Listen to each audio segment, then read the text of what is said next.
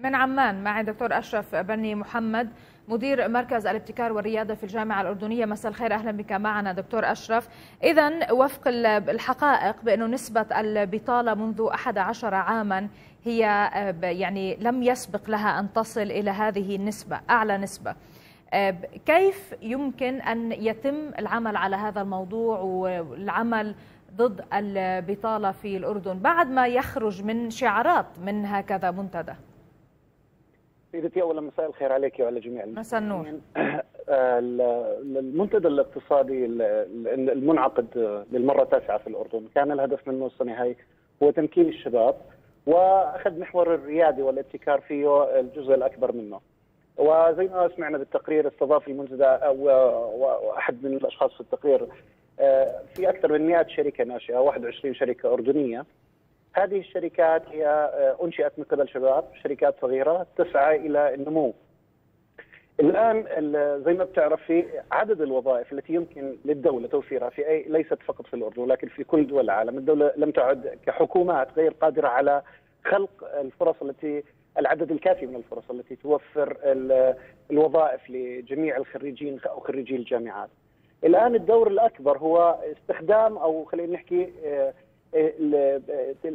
تمكين الشباب وتوفير الأدوات لهم الأدوات التكنولوجية بحيث إنهم يصبحوا قادرين على خلق هم فرص العمل هذه فرص العمل ليس فقط لأنفسهم ولكن أيضا لمجموعة أخرى من الشباب.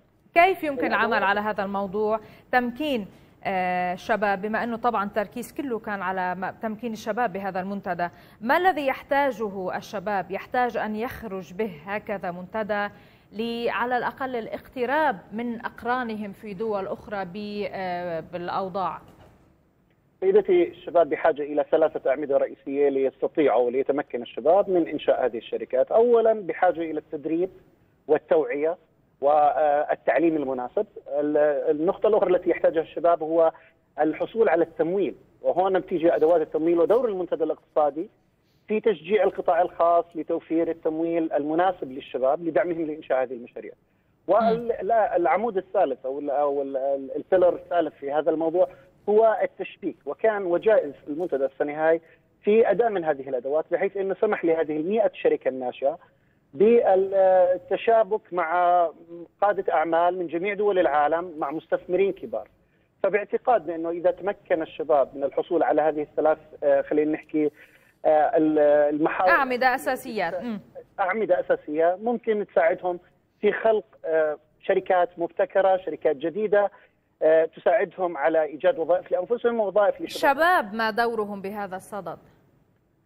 سيدتي يجب أن نعمل في العالم العربي كاملا على تغيير النمط التفكير التقليدي اللي نشأوا عليه آبائنا والجيل اللي قبلنا أولا من السعي وراء الوظيفة إلى سعي آه، وراء التعليم اللي بيحكوا عنه التعليم مدى الحياة أو التعلم مدى الحياة. القطاع الخاص الآن بحاجة ليس بحاجة إلى خريجين مؤهلين تكنيكالي أو تقنيا، هم بحاجة إلى أشخاص قادرين على حل المشاكل هذه اولا، قادرين على التعلم بشكل مستمر. نعم. والنقطة الثالثة عند لديهم خلينا نحكي مهارات التواصل باللغة العربية واللغة الإنجليزية والبدنية المناسبة لكي يحصلوا على خلينا نحكي يكونوا قادرين على الولوج إلى الثورة الصناعية الرابعة كما أسماها البروفيسور آه، كلاوس آه، في المنتدى آه، وكما أشار إليها سمو ولي العهد في كلمته الرئيسية. أنا أشكرك جزيلا من عمان دكتور أشرف بني محمد مدير مركز الابتكار والريادة في الجامعة الأردنية.